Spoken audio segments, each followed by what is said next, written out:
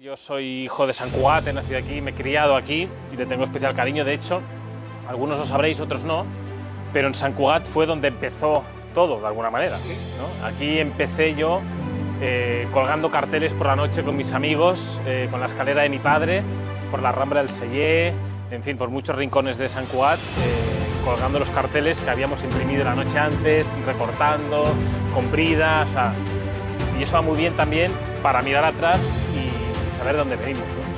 En Cataluña, por desgracia, llevamos ya 40 años donde se pretende anular sistemáticamente al que disiente, ¿no? al que piensa diferente a lo que hay una serie de partidos políticos y movimientos que han dicho que es lo que hay que pensar.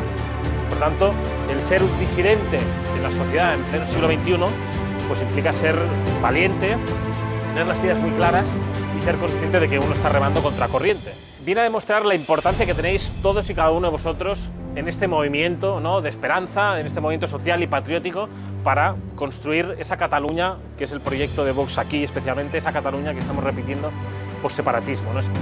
La juventud es fundamental.